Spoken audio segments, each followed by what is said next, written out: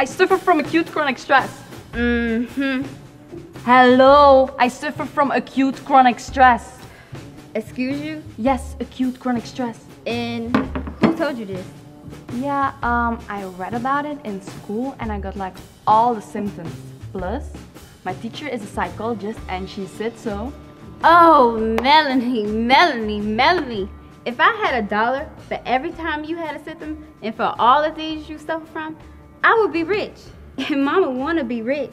But this time it's true though. That what you always say, but okay, if you say so. I believe the psychologist because they're the only one who determines that. You know I love you, Em, but you need to stop making excuses for yourself and just be happy for yourself. Most importantly, and just in general. And if the doctor doesn't run a test on you, then it's gonna be fine. Oh my god, that's what the doctor says too. That I'll always blame others and make excuses and never forget. Whatever. I got such a depressing life. Good luck with that.